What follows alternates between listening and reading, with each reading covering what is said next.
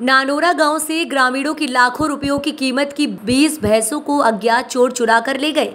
शिकायत के बाद पुलिस की तत्परता से खोज निकाला। शिवपुरी ज़िले के पोहरी थाना क्षेत्र के नानोरा गाँव से 10 सितंबर को ग्रामीणों की लाखों रुपयों की कीमत की करीब 20 भैंसों को अज्ञात चोर जंगल के रास्ते चोरी कर ले गए थे।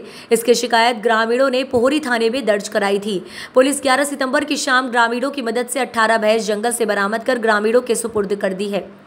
जानकारी के मुताबिक 10 सितंबर को नानोरा गाँव के रहने वाले घनश्याम धाकड़, पुत्र शंकर लाल धाकड़ एवं कमर लाल जाटव, पुत्र मटका जाटव ने पोहरी थाने में शिकायत दर्ज कराई।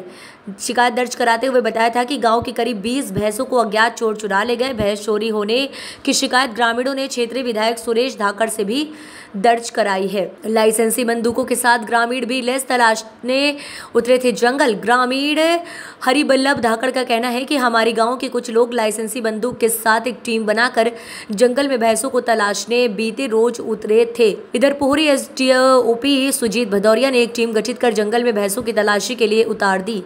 इसके बाद पुलिस टीम और ग्रामीणों ने मिलकर महादेवा घाटी के जंगल से 18 भैंसों को बरामद कर लिया। हालाँकि भैंसों के पास कोई चोर पुलिस को नहीं मिला।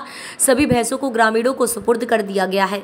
संवाददाता धर्मेंद्र शर्मा की रिपोर्ट। मेरा नाम ग्राम नानोरा से बोल रहा हूँ और परसों जो हमारे गाँव की भैंसें चोरी हुई थी, उस मामले में हम लोग मंत्री जी के पास गए थे। उन्होंने सुनवाई भी की, थाने को फ़ोन भी लगाया, एसपी साहब को बताया। लेकिन ये कुछ हमारी भी मदद थी। हम सब पूरे गाँव के पूरे गांववासी एक साथ मिलकर जंगल में गए और हमने कुछ ए, हमारे जो लाइसेंस वाला बंदूकें थी उनसे हमने एक दो फायर करके और उनसे भैंसें भी चढ़ा ली और प्रशासन भी आ गया था। इससे हमें ये लाभ मिलता है कि गाँव जो लोकल का विधायक होता है वो हमसे बहुत सपोर्ट कर रहे हैं।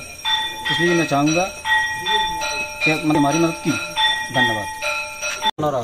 परसों जो हमारी भैंसा चोरी हुई थी हम मंत्री जी के पास गए थे उन्होंने तुरंत एक्शन लिया फ़ोन भी लगाया लेकिन तब तक प्रशासन पहुँचता उससे पहले हम जंगल में सारे गाँव वाले एक साथ घुस गए। कूद गए गोली चला और हमने अपनी बंदूकों के सहारे से अपनी भैंसों को छुड़वाया बाद में प्रशासन भी आ गया था और हमारी अच्छी मदद भी की।